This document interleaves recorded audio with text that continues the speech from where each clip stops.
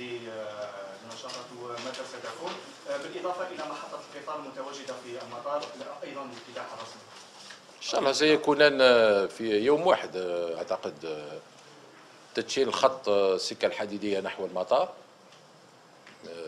إحنا ربطنا المطار اذا بالقطار. من القطار ينطلق من جزائر العاصمة نحو المطار مباشرة. وتبعتوا أنتم المدير العام تاع الشركة الوطنية للنقل بالسكه الحديدية اللي قال باللي راح ننطلقوا كل ساعة فيه قطار كل ساعة. ويعمل على أن يكون إن شاء الله إدارة الشركة تعمل على أن يكون نص ساعة في المستقبل. اذا المحطة تم استلامها و عملنا التجارب بالقطار وكن فريق منكم كان رافقنا في هذه التجارب الحمد لله.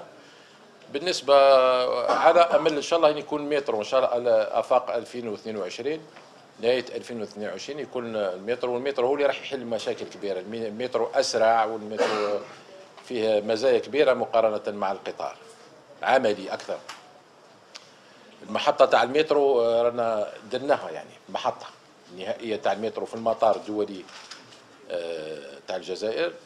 تم إنجازها باش ما نبقوش من بعد نحفروا بعد ما مطار جديد ونحبوا نقوموا بالحفر إلى غير ذلك. اذا المحطه انجزناها يبقى الربط تاع الأنفاق هذيك يتم يتم مع الوقت يتم مع الوقت من الحراج حتى المطار.